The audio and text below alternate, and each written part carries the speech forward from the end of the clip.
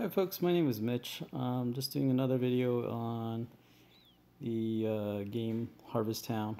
Um, just wanted to share some info, maybe some of you guys might not have known uh, another way to earn um, some quick easy diamonds. Um, it's not much, but every little bit counts, right? So if you just go into the options area, click on your manor, and you just hit the share button. You can do this once every uh, 24 hours.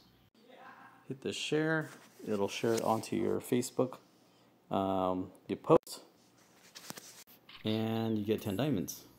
That's pretty much it. It's pretty simple. You can delete the post after that if you want to, up to you. Um, and that's pretty much it. Thanks again for watching, and um, stay tuned for the next uh, video.